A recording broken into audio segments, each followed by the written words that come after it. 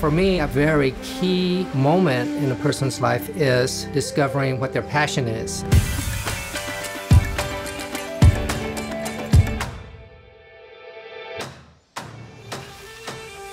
I own an award winning audio post company. I'm a singer songwriter from the island of Dominica. We own the biggest potato farm in our region. And we are Scientologists. Don't miss Meet a Scientologist on Scientology Network.